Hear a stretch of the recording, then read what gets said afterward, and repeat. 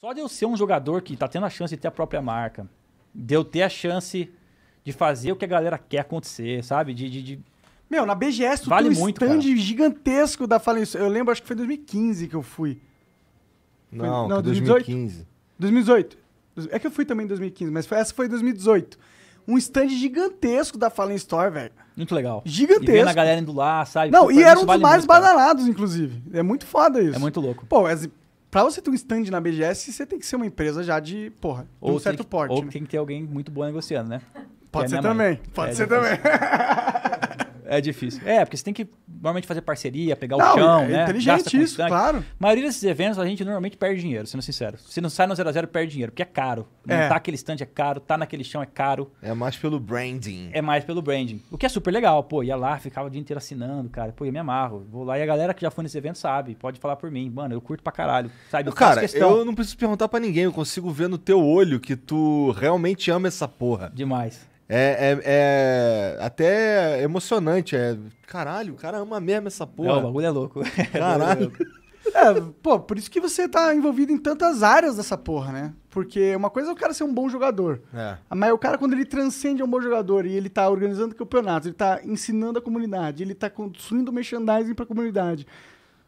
Porra, tá fazendo tudo que a Valve tinha que tá fazendo E aqui, tá todos ligado? os. to- e, e aquele aquele bagulho que eu falei antes, todos os caras do CS que a gente vai conversar, em algum momento a história dele cruzou contigo, cara.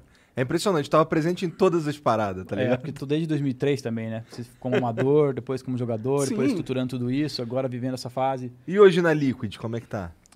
Cara, na Liquid tá sendo muito legal. É muito desafiador jogar com galera de outro país, sendo sincero, porque, meu, outra cultura.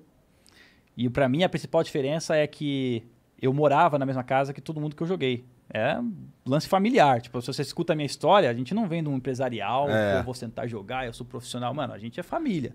né? Essa é a minha, a minha raiz. Nós somos família, nós é um time, vamos perder junto, vamos ganhar junto, é nós, vamos por cima de tudo.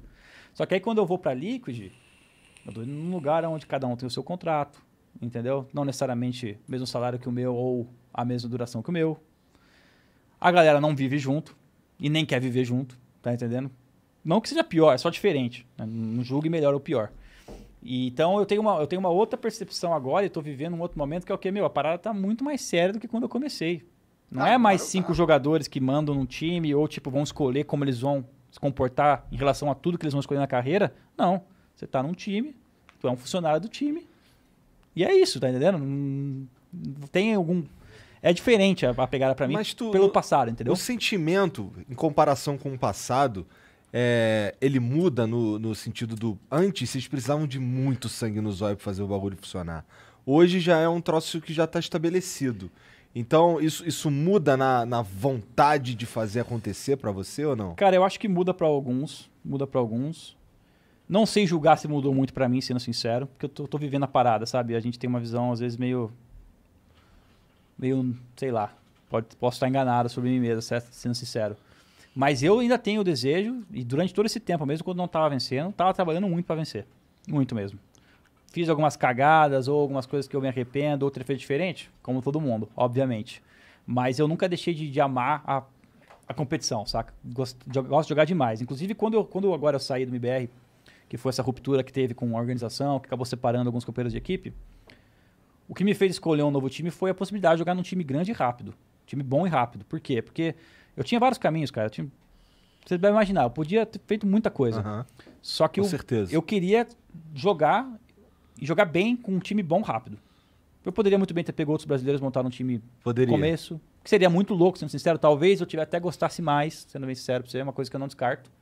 Porque, tipo, é outra parada. Quando eu pego quatro caras pra ensinar e vamos jogar junto, de novo é o lance família. Vamos lá, vem comigo, vai ser assim, vamos junto. E hoje você tem um peso sendo um jogador num time desses que é gigantesco, né, mano? Você pode fazer ou não acontecer um time desse sozinho. A oportunidade de fazer um time do zero, por exemplo. é, né? então, Tem, é, você, é, você é um cara que conseguiria, Conseguiria. levantar um time do zero, entendeu? Conseguiria, tive Não é proposta todo mundo isso. que consegue fazer Sim, isso. sim, tive proposta pra isso. Só que eu- o que me fez ir pra Liquid foi, eu quero jogar num time bom, quero jogar num time bom rápido, porque eu quero ganhar mais coisas, entendeu? Eu não quero sair dois anos que eu tive que foram terríveis em termos de título, entendeu? Eu Aham. quero ganhar mais coisa. E não ganhei ainda, ganhei só um por enquanto esse ano. Mas, Mas já ganhou, mas né? uma coisa muito importante pra mim, que sempre foi a minha mensagem, é a seguinte. A vitória no campeonato pra mim é o resultado final de tudo. Se você tiver feito muita coisa certa durante muito tempo, você vai ganhar um campeonato. Como eu vejo.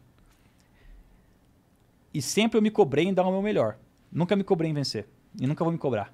E eu preciso ir dormir sabendo, cara, melhor do que isso eu não conseguia na época. Entendeu? Então muitos já perdi e falei, tá, melhor do que isso eu não conseguia. E sempre com a visão do eu vou melhorar pro próximo. Vou melhorar pro próximo. Tem um campeonato muito louco que a gente foi em 2015, que a gente perdeu na final, praticamente tendo match point. A gente nunca tinha ganho um campeonato ainda com, com um LG. Posso até voltar na história depois. E a gente perdeu o final, cara, numa prorrogação. E era engraçado ver que isso espalhava no time. Pelo menos eu senti que espalhava. E em mim era muito presente. Tranquilo, próximo nós ganha. Não, não tinha rage, cara que tava desesperado e, ah, eu vou sair do time. Perdemos esse. Passou Tranquilo, perto. vambora. Próximo nós vamos ganhar. E não deu outro. O próximo foi o primeiro major nosso. Que foi coisa assim, muito louca ter ganho. Foi, foi difícil. É, então, tipo, Entendi. eu acho que a construção de um time vitorioso, ela parte muito do emocional no esporte eletrônico. Muito. Eu acho que em todos os esportes, na eu real, também né? acho, mano. É. Não é só do esporte eletrônico. Até eu penso que é um pouco vacilação da Liquid nesse sentido. Não tra- Você tem possibilidade de estar junto com eles ou tá cada um num canto do país, como que- do mundo? Como que é isso aí? Cara, a gente tá junto demais até. A gente, apesar de não morar junto, a gente tá indo pra Europa lá no, no nosso centro de treinamento Mas da então da rola essa. Rola muito. Rola, entendi. Quando eu digo essas coisas pra você, não é que tá num ponto que eu não gosto da Liquid, porque assim, eu tô dizendo pra você que é diferente nesses pontos. Aham. Mas é muito louco também, porque, cara, na Liquid ninguém vai chegar atrasado nunca. Tu tá numa. A verdade é que tu tá numa experiência diferente do que tu Isso, viveu até não agora. é melhor nem Tá diferente, é mais seleção profissional. brasileira, é, do eu tô numa experiência mais profissional, aonde, cara, tem um centro de treinamento absurdo, que é o Anywhere Training Facility lá, é absurdo. Três salas de computadores top do mundo, cafeteria, cozinheiro até as 8 da noite, Sério? Que foda. dois cozinheiros diferentes, andar de cima, três apartamentos pra sair lá e dormir, é seu, tipo um hotel. Caralho. Então, tipo, você vai lá, é tudo do Legal melhor do melhor, demais. saca? Tu, tu, vocês ficam quanto tempo lá na Europa? Cara, eu tô desde janeiro sem voltar pra casa, pra você ter uma ideia. Caralho. Eu tô só na Europa praticamente. O que tá acontecendo? Por causa do Covid, Pô, obrigado mais uma vez por vir aqui então, cara. foi, acabei de voltar, cheguei ontem, pô. Vim correndo, perdi lá e vim correndo. Pô, obrigado, obrigado. E perdi entregado ainda, isso que é o pior. O que acontece? É, basicamente foi. O que aconteceu? A gente, que é, esporte, que é atleta de esporte eletrônico, normalmente usa um visto chamado P1, que é um visto de atletas, que vai performar algum tipo de dança, pode ser pra esses caras assim, artistas. E, Cara, eu tô com o P1 desde 2015, 2016. Quando eu entrei na Luminose, já tirei um P1. Renovei pela Luminose, renovei meu P1 pela SK, renovei meu P1 pela MBR. O que aconteceu? Por causa do Covid, começou a sair umas regras assim, cara, que parecem que. que é pra diminuir a entrada de pessoas, obviamente, mas que deu certinho onde não podia dar pra mim, tá entendendo? Vou dar um exemplo. Saiu o meu P1 da Liquid. Rapidinho saiu a aprovação, pá, você pode vir trabalhar aqui, eh, performar e tal. Agora eu preciso no consulado tirar meu P1. Marquei o consulado pro dia 2 de março desse ano, na Polônia. 3 de março. No dia 1, o presidente adicionou uma proclamação presidencial, não sei, 11 mil, não sei das quantas.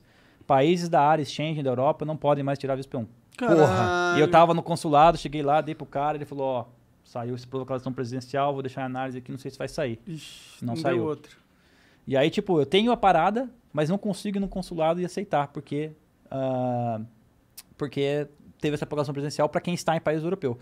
Aí é o seguinte, cara, entrando agora até no assunto da, da minha noiva, a Letícia, tá comigo desde 2011, a gente tá junto, mulher da minha vida, ó, É. Manda mais o mel aí. Mulher da minha vida e, cara, ela é advogada. Ela tá morando comigo desde 2019 nos Estados Unidos. Provavelmente vai virar advogada lá depois, que é uma coisa bem diferente, né? E aí você vê já a diferença do profissional, né? A minha advogada, embora advogado líquido e tal, embora seja muito boa, não é a minha mulher, não tá tão preocupada comigo e não, é, e não fica o dia a dia tentando achar soluções para esse meu problema, entendeu? Então eu sofro um pouco com isso. Já a Letícia, a minha noiva, tá o dia todo tentando ir atrás. E aí, cara, ela já tentou fazer vários milagres de arrumar urgência em tal lugar e tal. E ela conseguiu agora pro dia 27 desse mês, que eu vá no México, que é onde eu vou estar jogando, que eu tire meu P1 lá. E aí, Ah. porque tô no México, não tem área exchange, talvez saia meu P1. Entendeu? Entendi. E aí vai me salvar eu poder voltar pra casa. Eu não volto pra casa desde janeiro, cara. Graças a Letícia ser Caralho, muito mas boa é advogada muito- e ficar lá o dia inteiro procurando, achou uma solução, Caralho. pediu emergência e ela conseguiu, cara. Cara, ela até ela, quer- ela tá muito motivada que você volte pra casa, né? Eu imagino. Ah, mas é que ela, ela, ela tem essa pegada de fazer direito, sabe? Dá fazer ao máximo, não é só comigo, com quem ela trabalha também. Da então, hora. é por isso.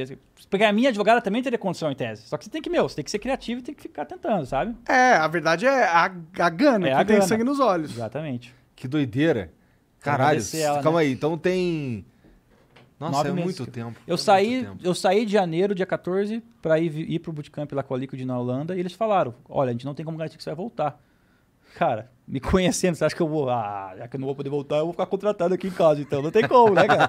Vou fazer o quê? Depois nós resolve. aí Se der problema, resolve depois. Da hora. Né?